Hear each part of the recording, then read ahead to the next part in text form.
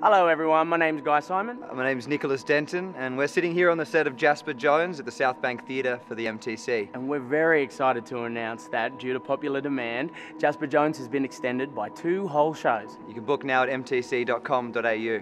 Look forward to seeing you there. Catch ya.